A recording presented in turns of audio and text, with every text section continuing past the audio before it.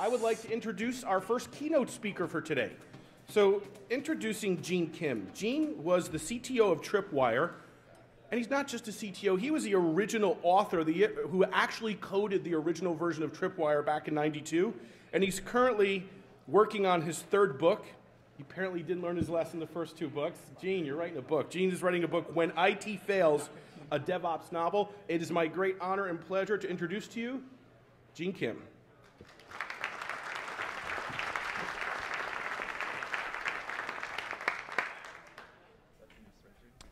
Thank you so much for the uh, introduction, Jim. Uh, my name is Gene Kim. I'll be talking today about an area of passion I've had for about 13 years, which is starting, starting um, to study a group of high-performing organizations that had the best security, the best compliance, the best operational performance, the best project due date performance. And back in 1999, when I first started studying these organizations, we called them geniuses of the people with great kung fu. So I had the privilege of being able to study these organizations uh, back when I was the CTO of Tripwire. Um, and I'd like to share with you some of my key learnings and how this has converged on rugged DevOps. And maybe just to set the context, what I'd first like to do is just share with you uh, what these high performers uh, were all about. Uh, so for those of you who don't know, sort of geniuses of people with great kung fu. These are people who led these high-performing IT organizations.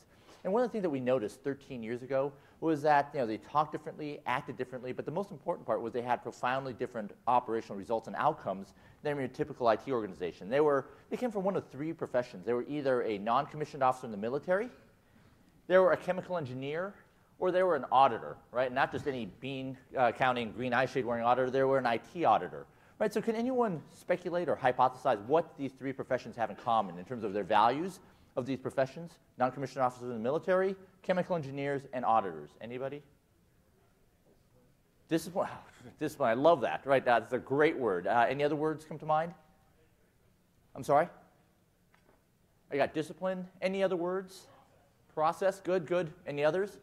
Attention to detail. You, you got it all. Right. So the words that we chose were rigor and discipline. Right. Why? Non-commissioned officers give uh, ammunition to 18-year-olds right? And I learned in restaurant operations that they don't even like giving uh, knives to 18-year-olds, right? Because you combine knives and raw carrots, you get accidents rates so high that insurance companies get involved. Chemical engineers have long, elaborate recipes where, you know, if you missequence two steps, endothermic can become exothermic. And then auditors, they just love controls. So uh, that's what led to uh, uh you know, uh, over benchmarking over 1,500 organizations. I helped raise over a million dollars for an organization called the IT Process Institute, really trying to link controls with performance. We uh, benchmarked over 1,500 organizations, really trying to figure out what, what specific controls you know, uh, we could attribute you know, to these phenomenally different outcomes. But uh, you know, what I've found in this journey is that there's actually something terrifying happening in information security. That uh, where this journey has led me is into straight into the heart of the DevOps movement, which I think uh, exposes some of the largest problems that we have as a profession and some of the largest business challenges that uh, we have uh, in the world. So what I'd like to do is share with you a story in four acts. First, the first act really begins with operations, right? So if you're in IT operations, if you've done a time in, uh, as an ops guy, right, you maybe have been put in situations where you are maintaining a very uh, significant business application, or uh, you're working on a project that has a significant amount of uh, you know, business emphasis on right? And you know, the problem is that these things tend to get fragile, right? And so the reason why we call it fragile is that we're, these things are breaking all the time, right? Someone looks at it wrong, and it breaks and blows up, and it takes a long time to figure out what went wrong, right, in order to restore service.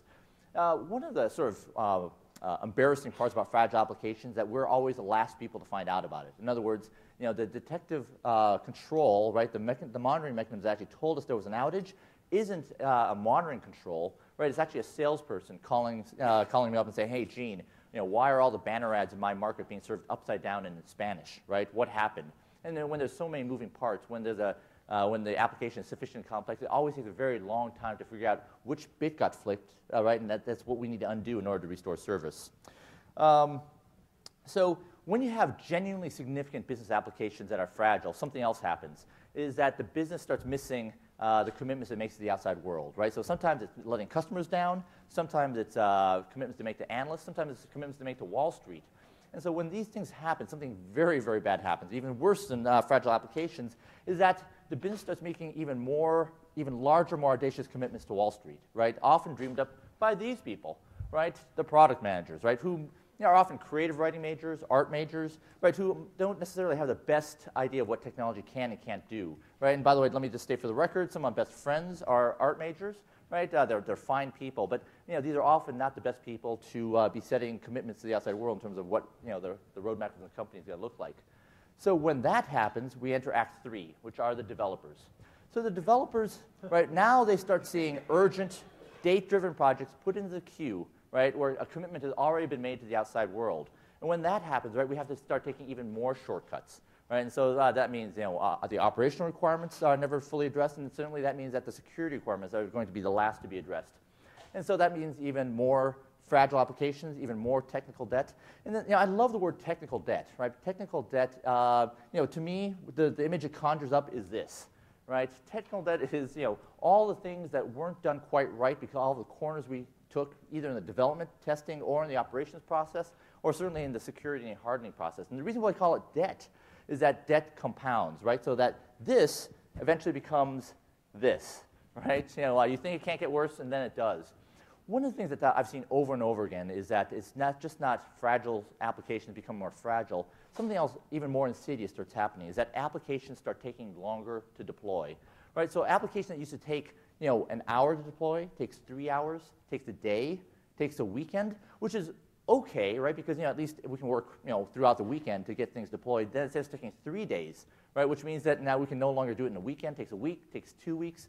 There was a specific uh, project I was working on where an, a deployment took six weeks and over 1,300 steps to actually deploy, right? And when that happens, releases start slowing down, right? Uh, and suddenly, you know, uh, feature uh, deployment intervals start lengthening. So you know that you have a problem, right, uh, when the deployments become so burdensome, so complex, is that the business says we need to lengthen the deployment intervals, right? In other words, we have to amortize the cost of deployments, you know, to make it, uh, because it's so painful, which may go against everything you believe in, right? Because everything that we've learned in manufacturing says we have to shrink batch sizes. You want to shorten the deployment intervals, right? And when you lengthen the deployment intervals, things go the wrong way. Uh, and so when this happens, right, when these deployments get more and more complex, right? You have even more moving pieces, more fragility. And then enter Act 4. Now you have full-blown warfare between the operations people and the developers, right?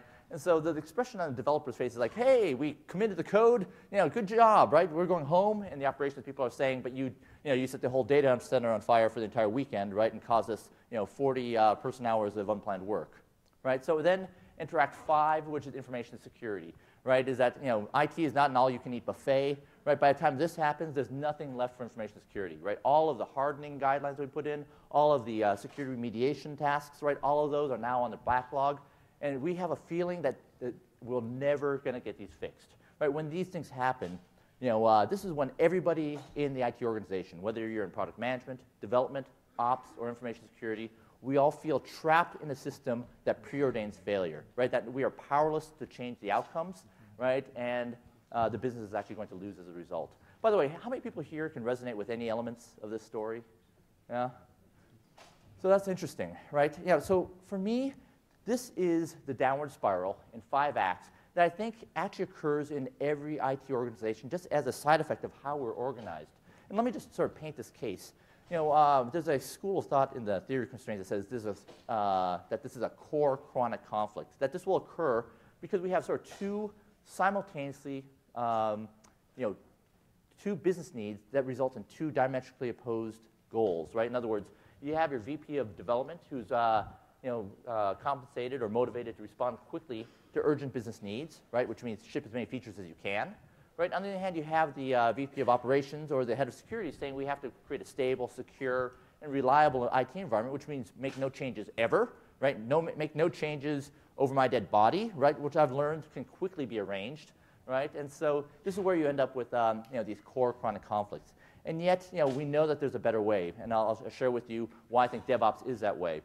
Uh, just in terms of uh, painting significance, I think this is an important problem because every company, every organization, regardless of what business they think they're in, is actually an IT company. Right, and here's the numbers that really bear this out for me. One is that 95% of all capital projects involve IT in some way, and that 50% of capital spending is technology related right? So this is every organization, large or small, regardless of what industry, profit, not-for-profit, right? You're going to see these characteristics so that IT is a core competency. And I think another indicative um, evidence point is that you know, regardless of where an organization is versus where we want to go, IT is always in the way, right? We're sort of constipating, you know, the, uh, the, digest, the, the, digestive tract of the organization, right? So there must be a better way. And uh, this is where my journey has taken me, which is straight in the heart of the DevOps movement. So let me give you a quick uh, primer on what DevOps is. And in fact, I'm so delighted there's a uh, rugged DevOps track. I'll be going to almost all those. Uh, I'm going to go to as many talks of those as I can. So the DevOps movement actually probably got kicked off uh, in 2009 at the Velocity Conference, which was actually one of my favorite conferences to go to. And, and so John Allspaw and Paul Hammond, they were the head of operations and the head of engineering at Flickr and Yahoo. They gave a talk that said, we're doing 10 deploys a day, right? And this is in a, so people were basically fainting in the aisleways, right, saying 10 deploys a day, right? This is in a world where most organizations are doing not, you know, one deploy every nine months or maybe one deploy every year. I suspect that if uh, these guys had given a talk at, um, uh, at AppSec USA three years ago, you know, here would have been our reaction, right? That's irresponsible. That's wrong, right? You know, that's immoral, right? But essentially what they were saying is that by dev and ops working together, they were getting outcomes that uh, no one else was seeing. In fact, it so far surpassed what we defined as high performance. I mean, it was literally shocking to me. And what they were saying is that dev and ops are very different disciplines, right? They kind of characterized uh, dev as Spock, you know, being able to sit on the bridge next to Captain Kirk, while ops is relegated to the basement, right? And uh, you know, whenever uh, you know Captain Kirk says, "Scotty, we need warp speed," Scotty's always saying, "No, we can't do it, Captain," right? Uh, and yet, you know, uh, if you can get ops people who think like developers and developers who think like ops people, you can not only create a torrid summer of love, right? But you can get outcomes, right? That uh, that are gen that genuinely help the business win, right? And by the way, you may be asking, you know, where's information security, right? Um, kind of in my mind, information security, we're that guy, right? we're the first to be taken out in the away team. And, you know, um, uh, when I wrote the book uh, Visible Security, you know, uh, the words that we came up to sort of characterize kind of uh, our honest, unflinching kind of characterization of our profession, we said, yeah, we're the shrill, hysterical people that everyone avoids because we suck the will to live out of everybody we touch because uh, and we're perceived as you know the bureaucracy that slows everybody down, right?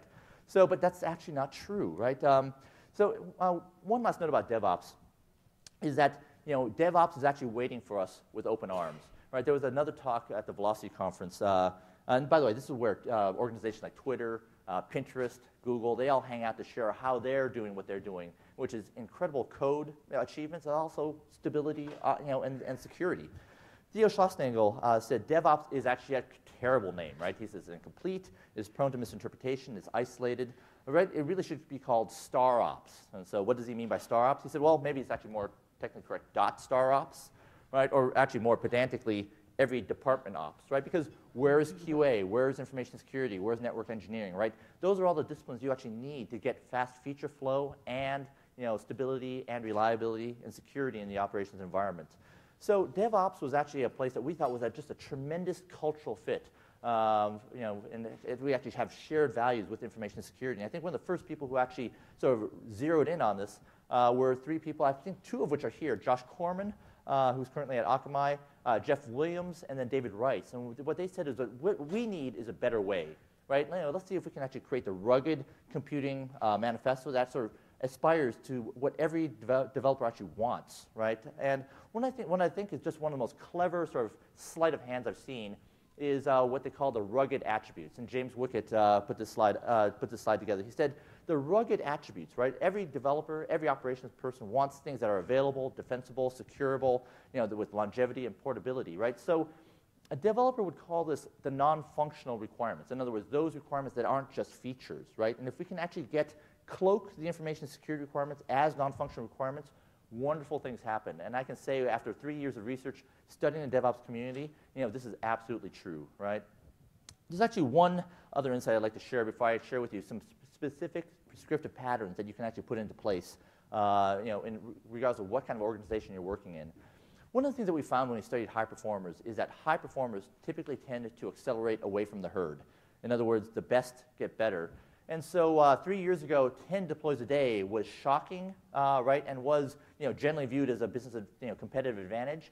These days, I don't think uh, you know, that's considered pedestrian, right? Amazon has went on record saying that they are not doing 10 deploys a day. They're doing a deploy every 11 seconds, right? They will actually peak uh, doing 1,000 deployments in an hour, right? And that could be as small as a configuration change or a full rollout, right? And so, um, you know, I think the reason why this is so important to me is that you know, uh, were I to do another startup, I would never do it without using DevOps-like principles. Because if I'm doing one deploy every nine months, right, and my competitor can do 10 deploys a day, not only can they beat me to market every time, but they can also out-experiment me, out-experiment me. In other words, they can do A/B testing all day long, right, and uh, you know, with a cycle time of one day, right, whereas it would take me nine months, you know, to actually iterate to the next loop.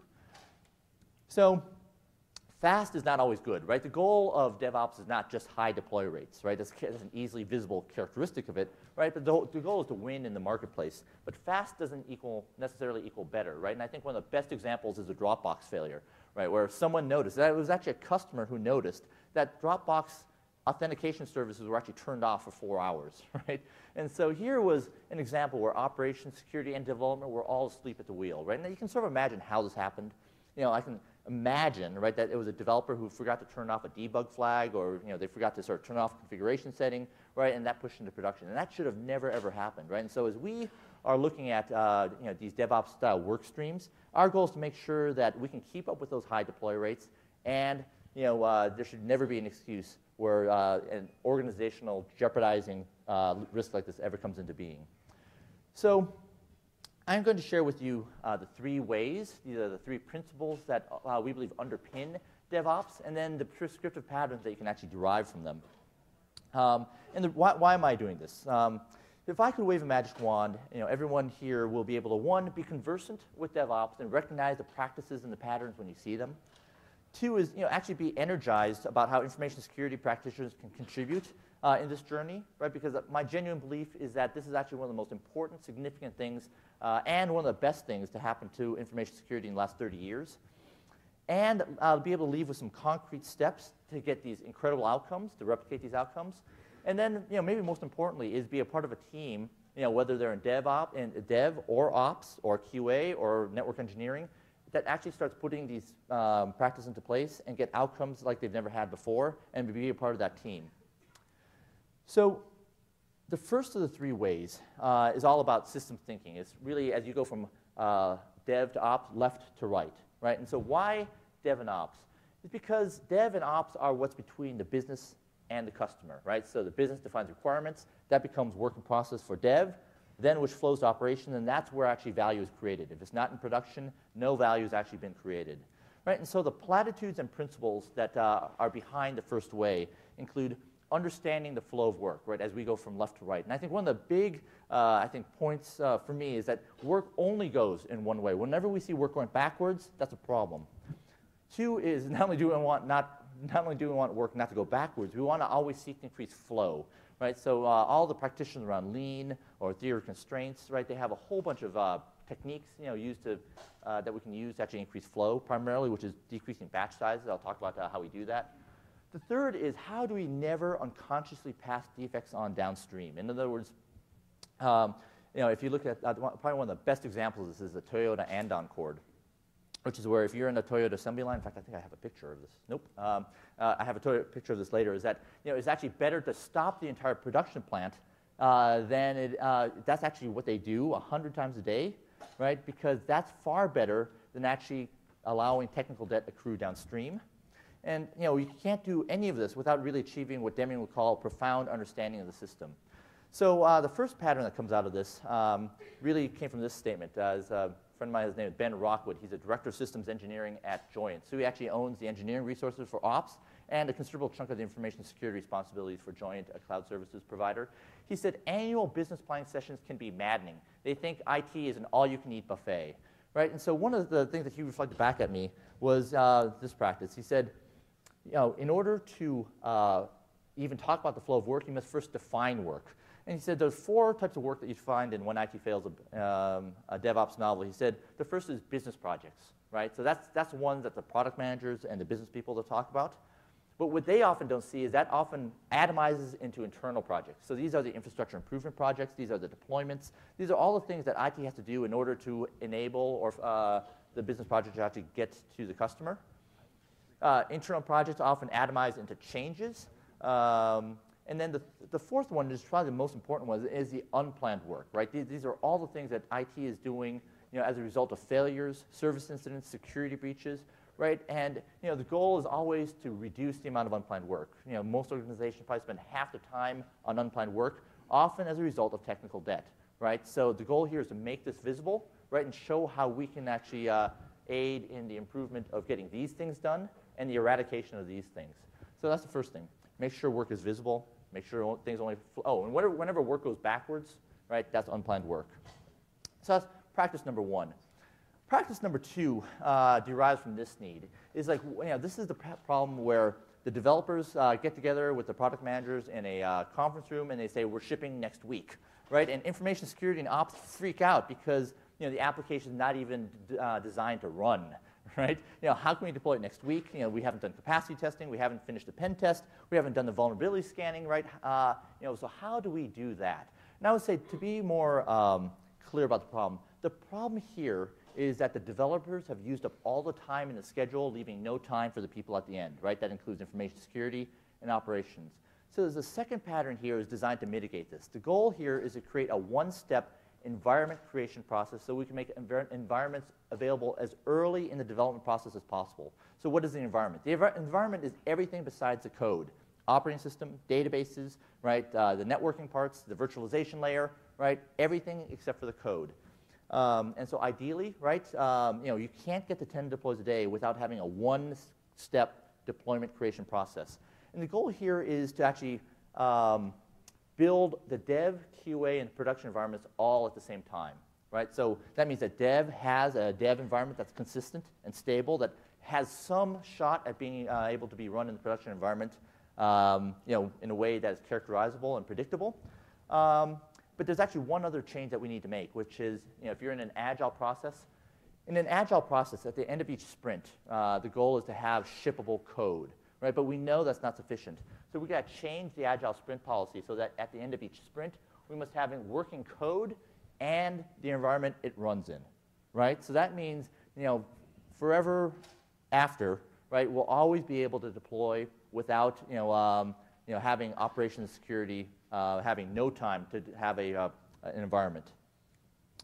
Uh, so in terms of specific things that uh, information security can be, be, doing to help enable these steps is, you know, when there is a, uh, a one-step deploy process, there's typically some tool like Puppet or Chef uh, being used. These are tools that uh, you know, you'll find at Google, at Facebook. It's like uh, it's basically handles all the provisioning after uh, you get uh, the operating system laid down.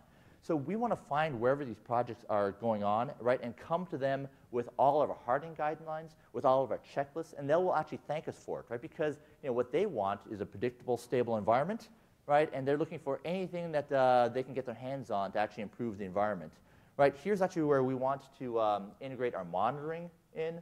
Uh, we, here's where we want to put our to find misconfigurations. Um, and another thing that we want to do is just define in advance what changes can actually be pre-approved to go into production versus which change can never go into production without a full review. Like think about the authentication failure at Dropbox, right? If someone changes that authentication module, even if it takes four weeks to test, right, that's what we have to do, right? Uh, but let's focus our attention there versus the other changes that you know, don't have uh, such a risk. So the outcomes that we would expect uh, when you put these uh, practices into place include you know, a single repository for code and environments, which is great for security because all the artifacts of, uh, required to actually create the production environment now live in one place that's auditable. Uh, we have determinism in the release process. We have consistent dev, QA, and production environments, all properly built long before the deployment actually begins. And now we're shrinking the cycle times, right? This is where we can go from six weeks down to a month, down to weeks, and hopefully uh, down to multiple times a day.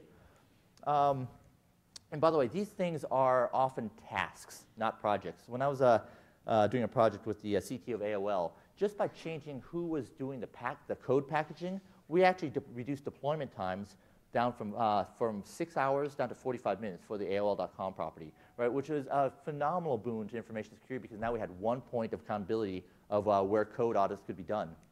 And then this is what leads to a faster release cadence. So that's the first way. So the first way is all about left to right as we go from development to operations. The second way is all about, and by the way, where is information security? It's everywhere, right? It's at every point in the flow, right? Um, so the second way is all about right to left. How do we go from operations to development? How do we create feedback loops, right? So we can prevent bad things from happening again and create quality at the source. So the platitudes or the principles that uh, really underpin the second way include understanding and responding to the needs of all customers, internal and external. Right, and the, the point here is that you know often we're focused on the external customer, but according to the lean thinking, uh, the customer is any downstream step, right? So any place where we can make life easier for the next step, right? Uh, that's something that we need to focus on. We want to shorten and amplify all feedback loops, stopping the line uh, whenever necessary. Um, I talked a little bit about that. And then we want to create quality at the source. So this is a big platitude, but there, there, this is actually, uh, I think one of the best examples of this is designing for manufacturing. You know, in the, uh, uh, in the 1980s, one of the big breakthroughs was when engineering said, hey, our end customer isn't uh, the, end, uh, isn't the uh, person driving the Toyota, it's actually the manufacturing people. We must make it impossible for them to actually misassemble parts, over tighten, you know, and they, they started designing things so that they were actually could be manufactured. That was their primary customer. You know, how do we create that in a DevOps work stream? And we do that by creating and embedding knowledge where we need it. So I talked a little bit before about the Toyota Andon cord. You know, this is, uh, this is it here, or specifically here, right? Uh, this is an uh, ad from, uh, I think, Time Magazine uh, in the 1980s. And basically the expectation is that whenever something goes wrong, you know, at a, um, a work center, you pull the cord, right? And so this actually ceases production and allows everybody to swarm the problem. And so what is a problem? A problem, it might be a defect in a part. It could be the step is taking too long, right? It took uh, 28 seconds versus uh, you know 15 seconds. It means any sort of unacceptable deviance, right? And uh, sorry, uh, you know, one of the big shocks to me, I actually learned this only a month ago, is that you know uh, the question was asked, how many times does an andon cord get pulled in a typical day? And I would have guessed maybe five or 10, and the answer is 100, right? It just shows you know how uh, much importance they put on that, right? And you know, I think it's all because they focus on the flow. So you know, how do we do that uh, between dev and ops, and how do we inject security into that? One of my favorite quotes is, came from Patrick Lightbody. He was the CEO of a company called BrowserMob. He said, we found that when we woke up developers at 2 a.m., defects got fixed faster than ever, right? I think that's marvelous, right? So the goal here is, you know, we want to sort of create fast feedback loops and give developers the information they need so they know the consequences of the decisions they make on a daily basis. And uh, one of the best ways I found it is actually having developers initially maintain their own service. In other words, never again can they just throw the half-formed pig over the wall and make operations and information security live with the outcomes. And I think one of the best examples of this actually comes from Google. They have something called the HRR, the Handoff Readiness Review. So what it says is that every, uh, every application at Google has to be managed by developers for six months before they become even eligible uh, for what they call SRE coverage, Systems Reliability Engineering. In other words, operations and security are such a scarce resource, right, that you must clear this hurdle before you become uh, eligible you know, to tap the SRE core. Right, and so what is the HRR? The Handoff Readiness Review is you know, we're going to look at you know, the frequency of page alerts, the maturity of monitoring, architecture review, release processes. And I, I love this. Production hygiene, right? I mean, are you, uh, you know, are, do you have the work habits and the coding habits that can even make you, uh, you know, palatable for you to actually, you know, run in the production environment? And so what happens when someone fails the HRR? What happens if uh, there's actually, they, um, you know, it turns out they are writing fragile code or insecure code? They call it a handback, right? In other words, uh, you lose the ability to actually run in production and tap uh, the SRE core, right? So yeah, I think this is a great um, pattern of like how you can make sure that developers eat their own dog food before things go into production. And by the way, if you're interested in this, this is a uh, this is Tom Limoncelli, um, who is now at Google, but he wrote a seminal book called uh, The Art of System Administration, which is an O'Reilly book. Um, okay, so specifically, right, um, you know, we want to embed development into operations, right? So um, uh, so that includes you know, getting dev into the IT operations escalation process. Uh, we want to invite dev to all our post-mortem meetings, any sort of security uh, incident um, reviews, right? We want to be, the goal here is to make sure that development can see the consequences of decisions they make, right, and uh, share the pain, right? And uh, we want to have dev and InfoSec cross-train IT operations, right? So I think this is kind of an interesting duality. On the one hand, we want to escalate the development more, but anything that we can actually push down into IT operations, we want to push down to the lowest possible levels we can because you know, um, both operations and information security, our goal is to create tribal knowledge, not uh, you know, perpetuate individual knowledge. And then uh, we want to make sure that you know, all that we create a one single pane of glass where you can see all the relevant metrics, whether it's operations metrics, development metrics, information security, the business outcomes. See them all in one place because these are the this is the information we need to actually restore service quickly. Um, specific things that information security can do um, is give feedback to developers, right? Being attacked in production is a gift. In fact, I, I took this out of Nick Galbreath's slides, uh, a great presentation he gave. He said, you know, capture all instances of, you know, SQL uh, statements being used in user input forms. Graph it and show it to developers, right? Show them on a daily basis. This is a hostile environment which your code is operating in, right? This is what causes behavior changes. Behavior changes is what causes habit changes and culture changes, right? Show all instances of seg faults. Um, I think another sort of very powerful thing we can do is actually create uh, abuse cases, right? So in an agile process, you know, a very powerful tool is, you know, uh, user stories, so they live above the features, characterizing things from a user perspective. What information security should be doing is create abuser stories, right? So uh, Josh Corman said, hey, a great abuser uh, abuse case is if uh, anonymous DDoS attacks can now sustain uh, peak attacks of 4 million users and 4 to 6 gigabits per second, that should be an abuse case so that uh, we can put that into the backlog so engineers can actually start designing towards that, right? These are how we you know, actually fulfill the non-functional requirements um, so we can build secure code that's stable, reliable, and, um, um, and can survive attack. Uh, this is a Nick Galbreath slide of just showing, hey, here's a, a, great way of showing you know, potential SQL injections and showing this on a daily basis. So here are the outcomes you would expect out of doing this. One is that defects and security issues are getting fixed faster than ever, right? By showing developers, you know, uh, you know, what things are happening to the code and the consequence of decisions they make. Uh, we are now actually creating a library of ops and InfoSec user stories that are now part of not just a project we worked on, but then can be reused in every project uh, that now heads towards operations. All groups are communicating and coordinating better, uh, and everyone's getting more work done, right? And ideally here, now this is where we actually start being able to curb the amount of defects going into production. But uh, you know, we can even do better than that, and that gets to the third way. So the first way was going from dev to ops, left to right. The second way is all about right to left, you know, creating feedback loops from uh, ops into dev. The third way is all about creating a culture of continual experimentation and learning. So what do I mean by that? So we want a culture that simultaneously strives for two things. One is saying that we want to experiment and take risks, and we want to learn from failure, right? But two is we want to we need to understand that repetition is a prerequisite to mastery. There's an emerging school of uh, thought that says whether you're in special forces or learning a musical instrument or uh, doing sports training, it is better to practice 15 minutes a day, every day, than it is to practice three hours once a week, right? And so uh, why is this important? We need a culture that allows us and expects us to keep pushing into the danger zone, but we have to have the habits that enable us to be able to survive and be able to retreat out of the danger zone when we've gone too far, right? And so the, uh, you know, doing one uh, rehearsal of a security breach, right, is not enough, right? And I'll show you kind of what it should look like. Uh, Adrian Cockcroft, he's a cloud architect at Netflix. He said, we need to, we want to break things early and often. We want to do painful things more frequently so that we can make them less painful over time. And when we do this, right, uh, by the way, this guy is an ex-system administrator, right, an ex-security person actually. He said, we don't get pushback from developers because we know that we're making rollouts smoother for the future, right? And I think one of the best examples of this uh, actually came about, uh, like I think it was on April 22nd, uh, April 21st, right?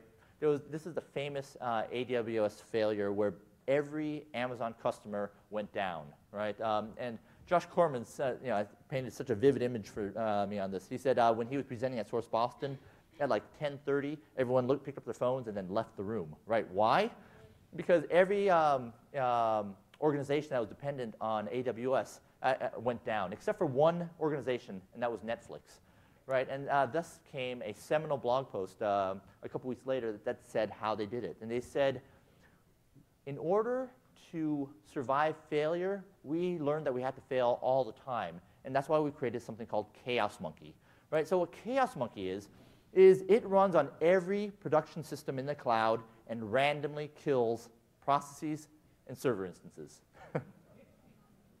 right? How many people here would love a culture that says, yes, do all your pen tests unscheduled without telling us and do it all the time? How many people here would love that? yeah.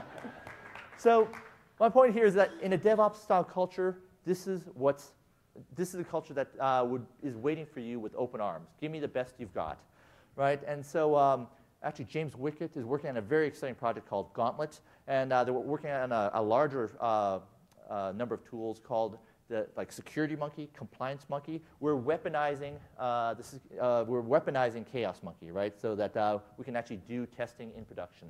And by the way, one of the things I just learned six months ago is that yes, Chaos Monkey runs in production, true, but it runs also in QA, which is probably at a much higher rate. So before you run Chaos Monkey in production, run it first in test. so uh, there are a whole bunch of ways that we can break things in production. We can enforce consistency in the code and the environments and the configurations across all the environments. Uh, we want to add as many asserts as we can, not only in production, but in the deployment pipeline. Uh, this is actually a great place where we can actually do static code analysis and uh, actually integrate this into the continual, uh, continuous development, CD, continuous uh, deployment processes.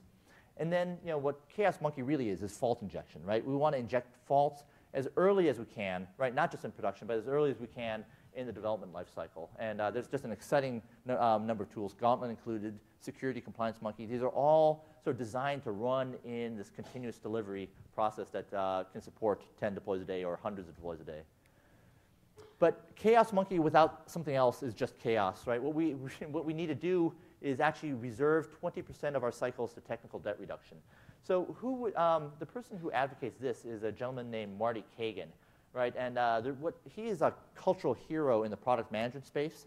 Uh, and he says this with authority, because, and people believe him because he inherited the product management organization at eBay in 2002. And what he, uh, in 2002, for those of you who don't remember, was a time when eBay was experiencing chronic, you know, multi-year, you know, site down issues, right? And he's saying, if you don't reserve 20% of cycles for technical debt reduction, you will be spending 100% of your cycles on debt reduction, right? Because this becomes that, right? And just imagine why this is so important, right? Is that if you have a, a site down is because of a cabling error between the SAN and the database server, right? Try, you know, imagine trying to find that, right? And so when you have 20% of your cycles uh, dedicated for uh, debt reduction, you can actually have the uh, collective will to turn this into that, right? It's great for operational stability, it's great for security, great for code hardening, but it's also great for deployment times, right? You can't do high deployment right, uh, rates when you have uh, a chaotic operations environment. And I think one of the great hacks I've seen in terms of really enforcing this is when you have a Kanban board or if you have uh, some sort of uh, card system uh, in the agile process, make all your user features yellow and then make all your debt reduction projects in blue. Right? So that means that uh, just at one glance you can see are about 20% of the cards blue and more importantly, are they marching across the board, right? Because you want them not only defined in work, but you also want them in production, right? Because if it's not in production, we haven't actually created value. There's actually one other aspect about um, uh, the third way I want to touch on. In some ways, actually, I think it's actually the most important, especially for the business, is high deployment rates are not just about being able to deploy features faster. um, Gene is talking too fast. Sorry, guys. Um, this actually came from Scott Cook, uh, the founder of Intuit. Uh, he said, by installing what he calls a rampant innovation cu culture, we were able to do 165 experiments in the peak um, three months of the tax. So this is the TurboTax property. So when I first uh, saw this, you know, uh, I almost fell of my chair. I said, what sort of idiot would do 165 major changes in the middle of peak filing, tax filing season, right? Most retailers don't even touch production from Halloween till January, right? Because the outage risk is so high, right? So why would they do that? He said, because of those experiments, we were actually able to increase the conversion rate of the website by 50%, right? So in other words, they were actually able to steal customers from the competition that otherwise they would have had to wait a year uh, to be able to recapture, right? So uh, by doing constant A-B testing, by being able to support high deploy rates and simultaneous uh, deployments, you can actually create incredible business advantage by doing this, right? So great for operations, great for security, and also great for the business. So the outcomes of uh, putting the third way into practice are technical debt is finally being paid off. Now, for the first time, we're seeing the exploitable attack surface area decrease, right? Because we've uh, bitten off those hard projects and those major refactoring projects, so we actually can actually make those problems go away. We're continually reducing the amount of unplanned work, which means more cycles for planned work. Um, we have more resilient code environments, and we know this because we're testing and injecting faults both in dev, test, and production all, all the time. And we're allowing a faster tempo of experimentation and a quicker time to market, uh, right? And by the way, one of the things that I think is just so amazing, right, is that you know, when you have this sort of discipline in place, right, you can find and fix security issues faster than ever, right? No longer do we have to wait nine months for the next deploy window, right? We can fix things in line. So, uh, you know, the, the six patterns for the three, uh, that come from the three ways. Define the work, make it visible, make those environments available early, right? That comes from the first way. Wake up developers as uh, often as we can, right? Uh, but also uh, put them, embed them in the IT operations organization where it makes sense. Third way, break things early and often, and make sure that we're reserving 20% for the uh, paying down of technical debt, right? This is what helps development, uh, operations, and security win. But more importantly, you know, the business will see the value of this. This is how we actually, you know, get fast time to market. This is how we can actually uh, beat the competition, both in time to market and experimentation.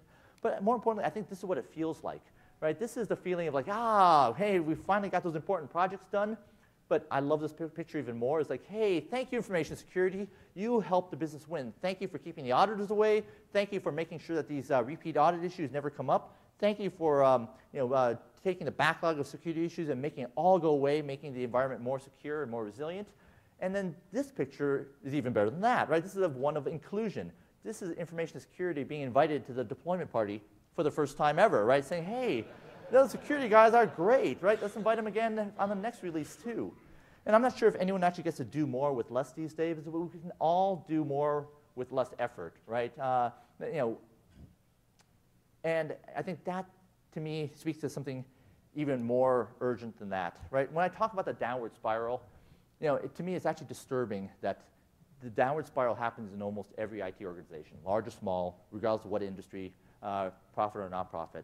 And to me, that's actually the most important problem of all, right? Is that when we are trapped in a system that makes us feel powerless, that preordains failure, that uh, makes us feel trapped in a system that we can't escape, that actually does damage to us as human beings, right? And uh, when you live in a system like that, year after year, right, these are the problems that we take home. Josh Corman uh, and uh, Jack Daniel, they did a study that said the rate of burnout in the information security industry is some of the highest you know, in any job vocation, right, including law enforcement, right? And I think these are the things that, uh, you know, our family, they feel that too. So, you know, to be able to break that terrible cycle, you know, it just has, you know, I think has tremendous value just in terms of uh, for us as a profession. But also, I think it has incredible business value as well. One of uh, my co-authors, uh, Mike Orzen, we actually did a calculation that said, how much business value is there on the table for us to recapture if we could have the amount of waste that's associated with DevOps style problems and information security problems, and could redeploy that in a way where we could get five times the value? The answer is $3 trillion, right? That is a huge number. That is more than the entire economic output of Germany, right, per year. So imagine what that would do to productivity. Imagine what that can do to standard living. And for me, most importantly, imagine what that does to, for the world you know, that our kids will inherit. You know, I think this is a phenomenal opportunity, a phenomenal problem that needs to be solved, and a phenomenal opportunity. So uh, I had stated before, if I could wave a magic wand, everyone will be conversant with DevOps patterns and recognize them when you see them. I hope that you're energized about what DevOps can do for us as an information security practitioner and show how it can radically change the outcomes. I hope that you can uh, got some concrete steps that you can actually put into organizations, whether you're a consultant or uh, you know an employee. And then you know I really hope that you can be a part of a team that actually puts this into place because as uh, as I mentioned before, right, they are waiting for us with open arms, and we have a lot to offer. And I'm looking forward for you uh, to actually experience that yourself. Uh, there's, I'm working on two books right now. Uh, the one coming out next is When IT Fails, a DevOps novel uh, which has um, been one of the most rewarding and fulfilling uh, projects I've worked on in my life. And so we created an organization called IT Revolution Press, and our goal is to positively impact the lives of a million IT workers in the next five years. And so if you're interested in these slides, uh, if you want a, um, a paper called The Top 11 Things You Need to Know About DevOps, If you want uh, the Rugged DevOps resources and updates on the book, if you want any of those things, just uh, you can just pick up your phone and uh, text your email address and the number 75894 to the number on your screen, or you can go to this URL and just type in your uh, uh, name and email address. And I, sorry about the name requirement. That was a uh, fat finger on my part. But anyway, uh, just put in your email address, all right, and you'll get those sent to you instantly. Uh, or you can also sign up um, at itrevolution.com or email me at genek at uh, realgenekim.me. Thank you so much. I appreciate the time, and I hope you got some value out of this presentation. Thanks.